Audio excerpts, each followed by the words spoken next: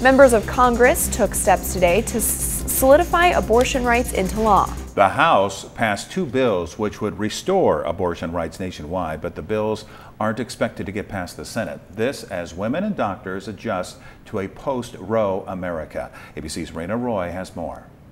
The bill is passed. For the first time in the post Roe era, the House passing legislation to fight the Supreme Court's decision to overturn Roe v. Wade. Our pro choice, pro women Democratic majority stands resolute.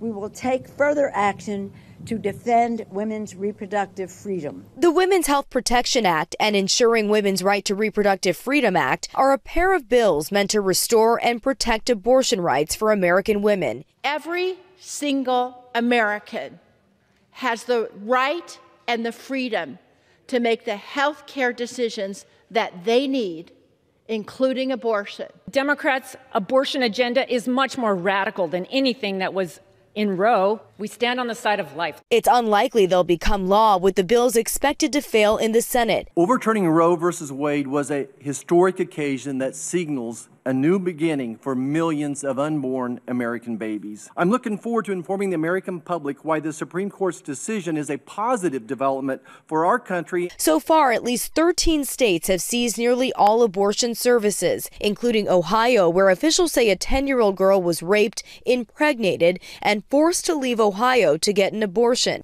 The Attorney General of Indiana announcing an investigation into the doctor who performed the abortion in that state for potentially failing to report the rape and the abortion, even though records show the doctor did file a termination of pregnancy report. The doctor's attorney saying she has not violated any law and that they're considering legal action against those who have smeared her name.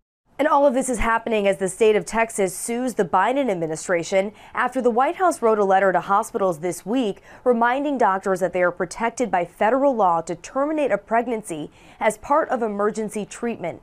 Planned Parenthood slamming the lawsuit, saying the consequences will be devastating.